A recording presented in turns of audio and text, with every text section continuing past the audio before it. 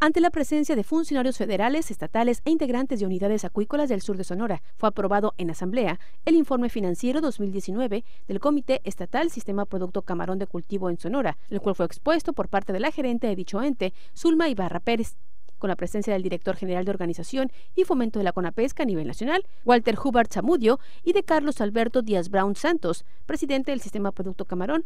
Ibarra Pérez destacó de manera pormenorizada el destino de los recursos, los cuales dijo que si bien fueron menos que un año previo, se aplicaron donde estaban programados. Ahí también se refirió a la necesidad de seguir avanzando en la capacitación y en la electrificación de las granjas acuícolas del sur de Sonora. Tras tomar la palabra, el presidente del COSAES, el profesor Miguel Ángel Castro Cosío, subrayó la importancia de seguir contando con subsidios para la adquisición de larvas, diésel y la electrificación que permitan al sector continuar siendo productivo. Durante la asamblea también fue aprobada la aportación de 30 pesos por hectárea para el sistema producto, al informarse que son los únicos recursos con que cuentan durante los primeros meses del año. El temor porque se incluye en el Tratado de Libre Comercio con Ecuador, el camarón, también se puso sobre la mesa, donde se calificó como un tema delicado que podría poner en riesgo a la acuacultura en el país.